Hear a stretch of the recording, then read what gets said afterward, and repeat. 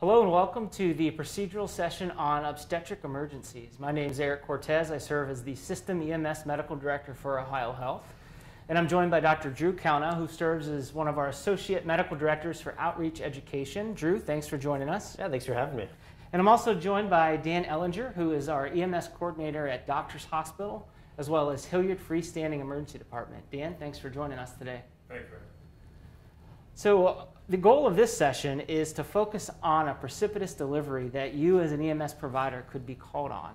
Our patient is here, we're on scene, and uh, the patient's saying that she is in labor. Dr. Kalnow is going to walk us through an approach to the precipitous delivery. So, Drew, we're on scene. You've said hi to the patient. Uh, what do you do? Yeah, so first things first, this isn't really an emergency. All right, so this is a natural process that we think of as EMS providers, as emergency medicine providers, as an emergency because it's not something we do very often. This is totally natural, right? So the vast majority of deliveries, even if it's precipitous delivery in the field, are going to go just fine. Mm-hmm. But just like we talked about with other procedures, the key is preparing for all the things that can go wrong so that if that does happen, we're ready to intervene. Plus, since we don't do it very often, I mean, maybe one of the most rare things we do, being familiar with our equipment and everything else is really important. So First step on this is actually watching this video and doing some training with your department. Make sure you know where your OB kit is. It's gonna be a kit that looks something like this. I got the equipment out here, all spread out. We'll talk about it as we go through some of the steps. Um, oftentimes it's hidden under a bench seat or in the back of a compartment with some dust on top of it because it hasn't been used recently. but training with this and knowing where your, your equipment is and knowing what's in the box is gonna really carry you forward. Once you actually get to the patient, there's some basic things we need to know. So how's mom doing, right? Because mom's really the key to this. So, mom, we want to make sure she's awake, she's alert, she's talking to us, and she can give us a good history. How many times have you been pregnant? And how many times have you given birth? So, those are our G's and our P's. So, gravida and para. Gravida is the number of pregnancies, para is the number of deliveries. So, if this is a first pregnancy, you're going to be at G1P0, right? You're pregnant, but you haven't delivered yet. And then those numbers go up depending on how many pregnancies, how many deliveries. There's more numbers at the end of that that our OB colleagues really care about. right. For the purposes of this, G's and P's G are all we care about. the reason why we really care about G's and P's is because the more P's there are, the more rapid we can expect this delivery to progress, right? The mom's physio- physiology uh, is just more prepared to deliver. It's been through this before, so she's going to be uh, more adept at uh, a speedy delivery, most likely.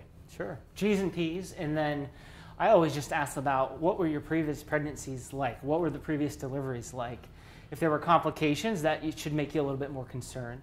If there were all previous C sections, that should make you a little bit more concerned as well. So, just a general description of what was it like in the past can be very beneficial and give you a lot of good knowledge, I think, too. Sure. Have you had to have surgery, a C section before? Uh, was that planned or was that emergent where right. there was a complication during delivery?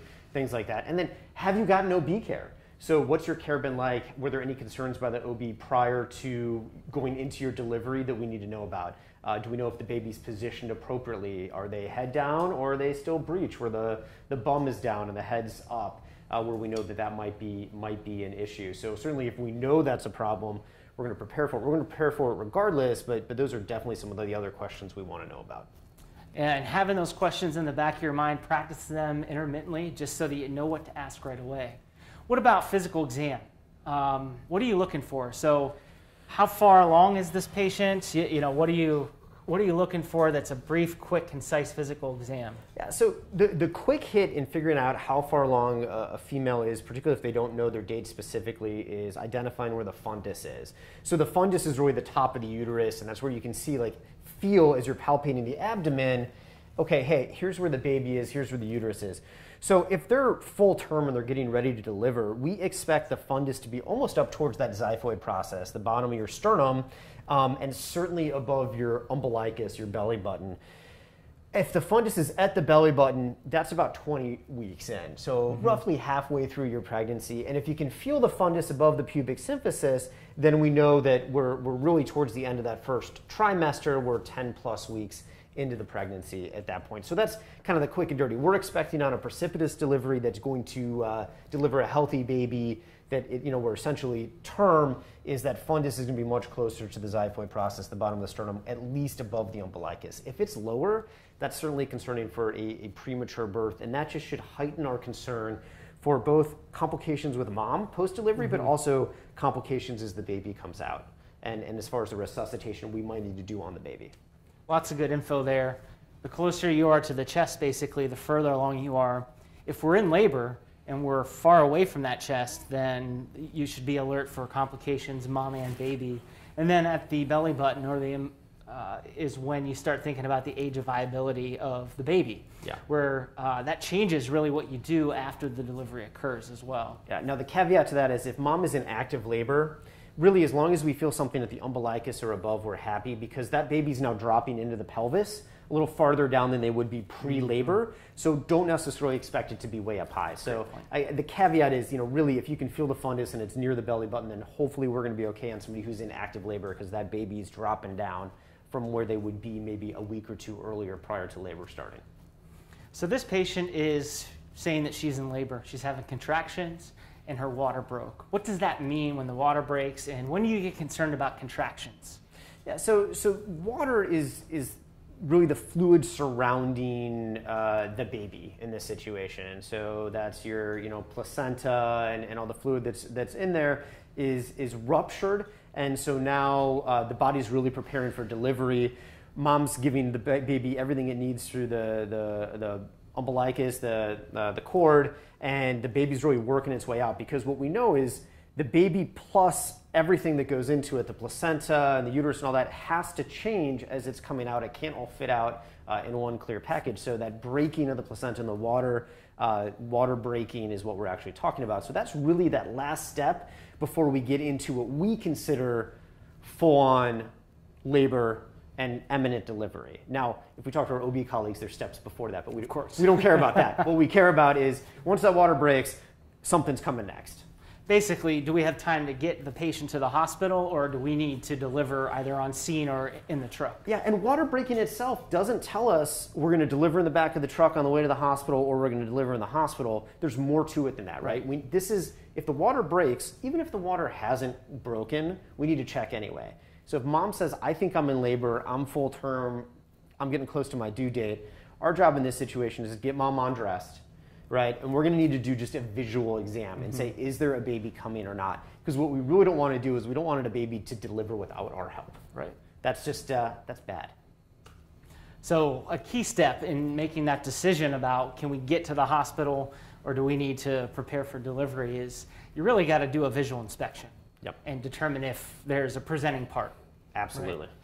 Right? Um, so this patient, uh, her contractions are very frequent uh, her water has broken, and you do a visual inspection, and uh, there's a presenting part. Can you walk us through the steps of how you're going to approach this and uh, perform the delivery? Yeah, so first of all, I want to figure out what is that presenting part, and I am hoping, two fingers crossed, that I see hair. yeah. Right? Because if I see here, then I know the head is coming down, and that's the position that we want the baby in. But our job in this situation is so we're going to have gloves on, and, and if we're worried about a, a, a presenting part, if we don't have our OB kit open, it needs to be sitting out next to us ready to go, right? So in the OB kit actually is sterile gloves. Ideally, we put those on, but I don't know that that really matters at the end of the day, right? Just have gloves on, and you're probably going to want a gown on also if you have one in the back of the truck, because this could get messy, mm-hmm. particularly if the water that has broken has not completely evacuated uh, for a mom, or if there's bleeding and there's other things going on. I, I, will tell you, I've been a part of this both in the back of a medic before, and as well as in the emergency department, and uh, I'm never clean afterwards. Yeah. So prepping yourself a little bit for it. So next thing is we want to get mom in what we call the lithotomy position. So here we have a hospital bed with these stirrups. I, these don't come uh, equipped on most medics. so um, what you're going to do is you're going to scoop mom down farther towards the end of the cot, um, and you're going to have mom's just legs up, you know, as, as close to her bum as she can in that kind of frog leg like position. This does a couple things. One, it gives us access to check the baby, but it also puts mom's hips and pelvis in the most ideal position to start delivering that baby to open things up uh, so that the baby can come out with the least amount of resistance Right. and the least, least amount of trouble for mom. Um, you know, another trick of the trade is if you have a little bedpan in the back of your truck, and again, those might be hidden under some dust and some towels next to the OB kit, you can slide that under mom's hips, and that gives her a little more uh, uh, lift of the hips and allows her to bring those legs back and up a little bit. It, it recreates this position that we're in right now. Optimizing the position, it's key to a lot of procedures that we do in EMS. All right, now what? So now we actually need to look, right? so uh, the part that, that is just what it is, we got to look. So keep mom as modest and covered as we can, and we don't need to really be aggressive in looking, right? It's simply taking a look at the, the vaginal space, the vaginal walls, and is anything coming out? So do I see some hair? Do I see a smooth, rounded crown? Or do I see something that looks like an elbow, looks like a foot, looks like a hand? Or do I see a cord, right? So these are all the things I need to know. Is, is the baby breech? Uh, are we going to have a hand first delivery where we're going to be worried about shoulders getting stuck? Or are we going to have a, uh, a cord delivery where now all of a sudden we have to be very careful about making sure there's not pressure on the cord so that the baby survives through delivery uh, as well as possible and, and, and successfully? So before we do a normal delivery, let's talk about those complications that you can see when you take a look. You mentioned you see a cord. So what does that mean if you look and there's the cord that's there? What do you do? So prolapse cord in this situation is what we're talking about, and, and this is where the umbilical cord is presenting before the baby actually presents. And what we worry about in this situation is that the pressure from the delivery, as the head and the shoulders are coming out, that we put so much pressure on the umbilical cord that we essentially stop blood flow from mom to the baby. And remember, until baby comes all the way out, or at least the thorax is out, and we squeeze that meconium and, and whatever maybe is in the lungs out, the baby hasn't gone through the physiology of taking its first breath, so it's depending on mom for oxygenation. And if we cut that off, that's essentially strangulating the baby. So, what we need to do in that situation is reduce the pressure on the cord as much as absolutely possible. And that's going to be by keeping the head up, keeping any presenting part lifted off the cord so that the cord is, is having uh, the least amount of constriction or strangulation on it. Now, what if you look and there's a foot or the baby's bottom that's being presented? Yeah, then we just need to get to the hospital really fast. um, so in that situation, we're gonna do a couple things. One, we're, we're going to prepare ourselves, and we're also gonna alert the hospital in advance as soon as possible that we are uh, experiencing a breech delivery, right? So, and this is a situation where getting to the hospital is gonna be beneficial for the patient, both patients that are about that we're about to have. But we might have to deal with it in the back of the truck or in the house anyway. And so we're going to work with mom in this situation. We're going to maybe increase that lithotomy position, try to open the pelvis up as much as possible. We're also, if we think we can get to the hospital, we're going to discourage mom from pushing, right? So we're going to try to prolong this delivery and this labor process a little bit, as opposed to if the baby's coming out and there's nothing we can do and we see ahead, you know, just go ahead and push because we're ready to go. Uh, we're not going to push the baby back up and try to turn it around. Uh, we're going to deal with whatever presents to us, but we're going to try to slow things down a little bit and see if we can't get to that expert care. And if we can't, then we're going to talk about some things that we can do as the delivery process goes. Sure. And um, in some of these scenarios, in the hospital setting, the fetal heart rate will be monitored. And specifically, they're looking for decelerations or fetal bradycardia, basically. Um, we obviously don't have that ability to monitor the baby like that in the pre hospital setting. Is there any role for fetal heart tones in these scenarios to help inform us about what to do? You know, in imminent delivery, I don't know that, that measuring fetal heart tones matters that much. Certainly, if mom says, I'm having some contractions, I'm having some belly pain, she's having other complaints but isn't actively in labor with presenting parts, then trying to get a fetal heart rate um, isn't going to hurt anything. And, and oftentimes, trucks have the ability to get a Doppler pulse, or you can try to listen for a fetal heart rate. Asking mom, hey, where's the last place that OB heard a good fetal heart rate is important. The, the other part of that is that make sure we're monitoring mom's pulse also, because if what you think is the fetal heart rate matches exactly what mom's heart rate is, I, I'm pretty sure it's mom's heart rate. In that situation that you're listening to or that you're hearing, um, the, the baby's heart rate should be a fair amount higher, like Right. 140s to 180s, 130s to 180s. So uh, in the heat of the moment, the baby's coming out. I think there's a lot of things to worry about. Worrying about getting a fetal heart rate isn't going to change Right. uh, what happens. But if we're not having an imminent delivery, then trying to hear a fetal heart rate is not going to hurt anything and might be of some benefit for the hospital receiving the patient. And you bring up a good point about there's probably a lot of focus on the delivery and being in labor, but having one of your partners or one of your colleagues focusing on mom at the head of the bed or talking to mom is going to be extremely important too. Um, one more complication I want to just touch on briefly is you know the shoulder dystocia. Basically, you know the baby's getting stuck. It's you know the shoulders can't pass out through the opening. What are some techniques that we can use to help overcome shoulder dystocia? Yeah, for shoulder dystocia, really the, the number one technique that we're going to use in the back of a medic or in somebody's house if we're having imminent delivery outside of a hospital is knees to chest. And this is going to be the same thing in a breech delivery if the baby's not progressing really well. And so when we say knees to chest, what we're doing is we're truly trying to open and flatten that pelvis as Literally much as we knees to can. chest, right? Knees to chest. And so it might be a partner on each side holding the knees up, or if we don't have enough manpower, it's going to be asking mom to give herself essentially a hug at the knees and bring them up. And what that does is it widens your pubic symphysis, it widens your pelvic uh, rami and the wings of your pelvis to open that up as much as possible and maximize the amount of space. So hopefully that shoulder can then come out. You know, the other thing we can do is we're guiding, and, and we'll show this technique a little bit as best we can uh, during the delivery process itself, but we can kind of lift the shoulder a little bit, guide the shoulder the last ditch thing that we would do, and we talk about this in the emergency department, and, and paramedics hear about this as they're training, is if you can't get the baby out, you can break the clavicle. Now, certainly that's not something I want to do. That's not something I really want any of our providers to have to do. But if it's a question of life or death for the baby, mm-hmm. that's something to consider. Just to know that, that that is a thing. I would call the hospital in advance and, and get some medical control and direction before proceeding on to something like that. Some folks advocate for some mild suprapubic pressure as well. And then as a drastic measure, you can actually put the patient on all fours, and that can change some of the dimensions and help the baby uh, progress uh, out as well. Um, but this is going to be the most, uh, the most successful technique is, is the hyperflexion or knee to chest as well. So those are some of the complications, and you always don't want to see those things. And most of the time, you're not going to see those things, and you'll have to just facilitate the normal birthing process. So let's assume that, again, this is our patient in labor, it's a precipitous delivery, and you got to deliver on scene.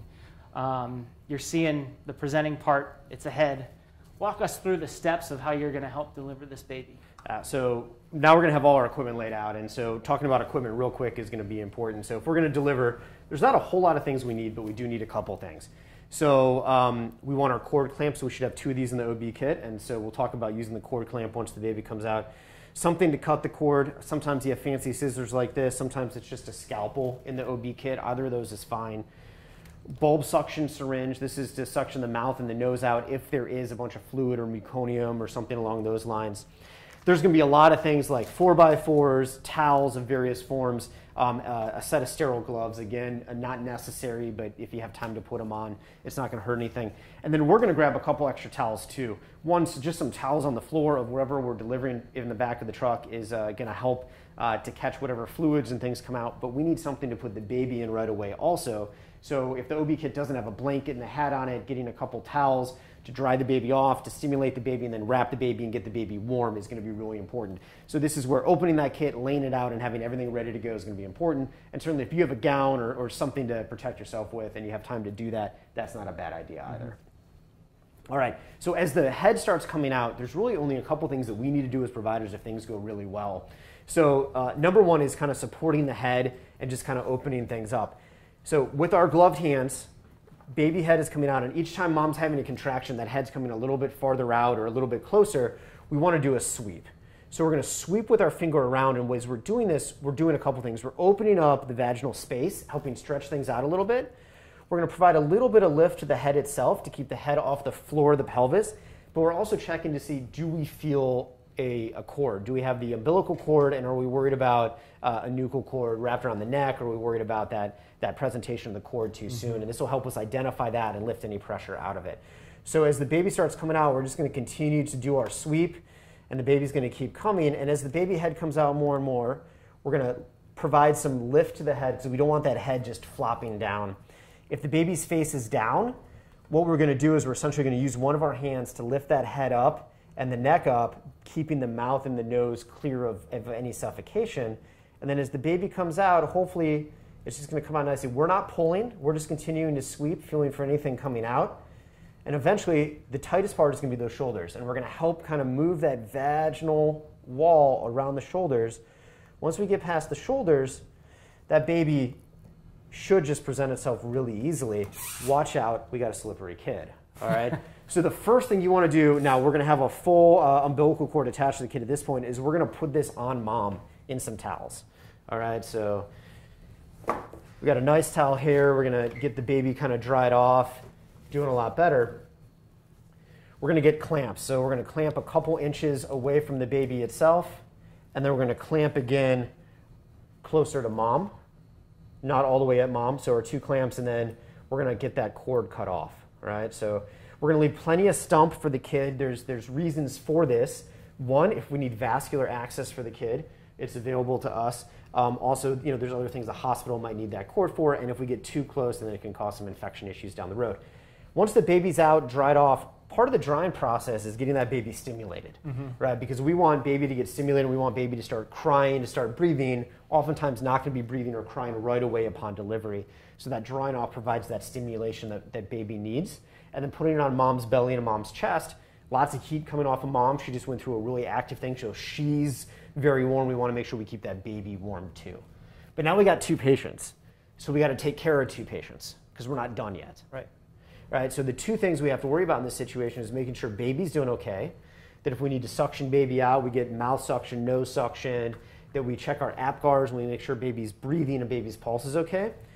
But we also have to pay attention to mom because there's still a placenta that's going to deliver. If there's tears to the, uh, the vaginal wall, the, the vagina at all, then there could be some bleeding that we have to take care of. Um, and we want to make sure we don't lose the uh, umbilical cord all the way back up into mom because in this situation, as she delivers that placenta, that's something that either we are going to do in the, the field or once they get to the hospital, help deliver that placenta. And having that, uh, that cord is going to help with the process. Right. Going back to the uh, cutting of the cord, some folks advocate waiting 30 seconds to decrease the risk of intracerebral hemorrhage. Is that something you employ, and is that really that important in the pre-hospital setting? Let me tell you, you're not going to get the cord cut in the first 30 seconds, right? By the time you get the clamps on the baby, the baby's all the way out, you were doing a little uh, shaking, and you find the scissors, plus with your hand shaking and the nerves going on in the situation, I have a hard time believing that we're going to be cutting the cord in under 30 seconds. So don't worry about it. So you're just going to delay just because of everything that you're doing everything doing. else so that's going on. It's probably important, but don't worry about it because it's going to happen anyway. Basically, right. yeah. Yeah. So of all the things to remember from this, that's not the thing I'd worry about because unless you're a speed demon, 30 seconds isn't an Doesn't issue. Doesn't matter. Looking out for mom, the postpartum hemorrhage, keeping track of the cord, all important. Somebody talking to her, getting baby on mom, that is all very important. Let's say that we encounter the scenario, unfortunately, where mom is okay but we deliver the baby and uh, we're able to deliver the baby fine. Uh, how do we know if the baby's doing fine after we deliver? Yeah, so the first thing that we're looking for, if we hear a good cry and we have some movement and the, the baby's nice and pink, then we're happy, right? That's, that's the essence of what we're going for. We do use a score called the APGAR score, mm-hmm. right? Now, so the APGAR score is going to help us figure out how healthy the baby is. We want to do this at roughly the two to three minute mark after delivery to get a good sense of is there any resuscitation that we need to be doing for the baby? Do we need to be worried? So APGAR score is appearance, its pulse, its grimace, um, its amount of activity, and its respiration. So there's going to be a scoring chart in any EMS guidebook to actually score that, but essentially a low APGAR is concerning. Right. The other thing we need to do is we need to take the baby's vitals. And the only two vitals we're going to get on a baby is we're going to get a respiratory rate and we're going to get a pulse. And this is another thing that the, uh, the umbilical stump is really good for. That's still going to have a very palpable pulse.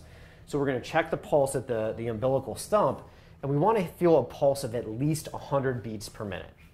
Under 100 beats per minute essentially is bradycardia for a, a baby, a newborn, and that's concerning to us.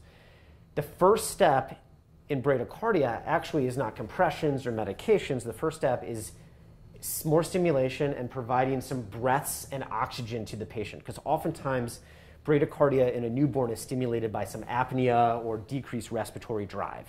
So that's the thing that we're going to go to. We're going to suction that kit again. We might get our bag valve mask out and provide some blow-by respiration. Just get a nasal cannula rocking and rolling near the baby's face and, and get that extra oxygen. Oftentimes that's enough to stimulate the baby into a better APGAR and a stronger pulse down the road. But we're going to keep a really close eye on this because if that pulse doesn't get better or it drops further, now we have to actually think about doing CPR on a baby despite having a pulse. Some really good points there. Keys to remember, if not responding, inadequate respirations, or you know, think about 100, that's the bradycardia cutoff for a newborn, then we start thinking about uh, providing ventilatory support. The, the other thing to remember too is the pulse ox is not going to be normal in the newborn, and you're going to have lower levels, and it's much more accurate to look at respiratory rate, overall responsiveness, and then the heart rate, just like Dr. Kalnow pointed out. So let's say that we encounter this baby and uh, there was some, some, initial bradycardia and inadequate respirs, and we uh, started bag valve masking the newborn, and that heart rate continues to drop, and now we, we're down to 60 or 50. Yeah. So once you hit 60, despite your resuscitative efforts, or if any time you're below 60, that's actually CPR. So in a newborn, you might as well consider less than 60 beats per minute this is a cardiac arrest equivalent. So we're gonna do compression. So we're just gonna start compressing the chest on the baby, right? And we're gonna start providing really regular bag valve mask respirations. We're also gonna consider now, do we need to intubate the baby? And do we need to provide uh, medication? This is where using the umbilical stump as vascular access might become a thing. That's getting to, to be a pretty advanced thing, and, and that can be a, a separate talk for a different day. But epinephrine, um, that can go down the tube also in these newborns as well if, once you get intubation. So these are patients less than 60 beats per minute is really concerning. And we need to be very aggressive in resuscitating them, including CPR. And, the, and another key difference with CPR, and it's different than PALS, for the neonate, uh, they advocate you know, three compressions to one ventilation, which is extremely different than that 15 to 2 ratio that we often see. So uh, good compressions, and then three to one ratio. And it's hard to remember that, but uh, these are mainly breathing problems, Absolutely. you know, ra- rather than there being some heart dysrhythmia. So focusing in on getting respirations is important. So we start compressions, we start ventilating, whatever means. Do we give drugs? Yeah, so or when? You know, I would do uh, two minutes of CPR for this patient if we haven't had progress and we're not improving as far as our oxygenation goes, our color goes, and our pulse goes, now we need to consider intubating the patient and giving epinephrine uh, based on the, the, the, newborn weight using your Broselow tape. The easiest route of access for this patient is to be epinephrine down an ET tube. Um, uh, if you are comfortable with and it's in your protocol to do umbilical vein catheterizations, then certainly that's access in that situation also. Oftentimes, though, that two minutes of CPR, good respirations, and oxygen is enough to resolve that situation. A lot of people are fine with IOs too, but they're going to be challenging in the neonatal bone. Uh, and don't forget a little bit of fluid sometimes can be helpful, the small boluses, and check a blood sugar too to rule out hypoglycemia as, as, as a cause of the bradycardia and the instability also. Absolutely. I know there were some recent changes with uh, meconium. In, in the past, it was, you know, you would stick a tube down, suction, come out, and back and forth. What do you do with meconium standing now? So now we don't worry about meconium, essentially. so, uh, you know, if there's a bunch of fluid in the mouth, we're going to suction it with the bulb suction, just like we would a bunch of fluid in the mouth, regardless, because we don't want that aspirated. Um, but uh, if the patient, again, is having respiratory or cardiac issues, that heart rate less than 100 or heart rate less than 60, that's when we get aggressive with airway management and consider intubation. But otherwise, meconium staining is not that big of a deal, we're told now. And so we treat that just like a normal delivery.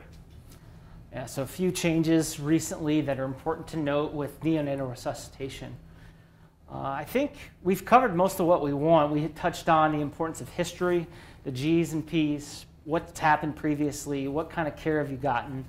Basic physical exam things. Take a look if you're worried about precipitous delivery uh, utilize the fundal height to have an estimation about how far along your patient is.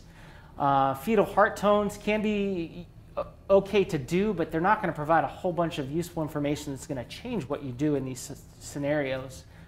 Uh, when you take a look, look out for the things that are going to cause a bit more stress the dystocias, uh, an umbilical cord presentation, a breech presentation, and have an idea in your mind about how you're going to try to manage those until you get to the hospital the, uh, the facilitation of the birthing process, as Dr. Kalnow outlined. Uh, it's good to have that in your head and uh, have it into your memory about what you're going to do. And then oftentimes you deliver the baby and it's this great feeling, and then you got to remember, well, I got two patients now, and there's postpartum complications that can happen in mom and in baby that we need to be prepared to manage. So before that happens, think about getting help, notifying the hospital, and just having a good plan in place for that. Dr. Kalnow, do you have anything else to add or in summary from a precipitous delivery standpoint? No, I think we covered it. You know, just like we talked about with all procedures, preparation is the key. And in this case, preparing is being comfortable with your equipment and just knowing the basic steps of the delivery process. If you know that, then the complications kind of fall into place and, and you'll learn how to troubleshoot those pretty quickly. But prepare, prepare, prepare. Preparation. That's great advice. Uh, thank you for joining us today, Dr. Kalnow. That was excellent. A lot of good tips for our EMS providers. Um, if you have any comments or questions, please feel free to reach out to me. I'm at eric.cortez at ohiohealth.com. For continuing education information, please visit our ohiohealthems.com site for all types of information, including ways to get CE for this event. Uh, happy EMS week. We, we appreciate you. Thank you for all that you do, and we look forward to hearing from you.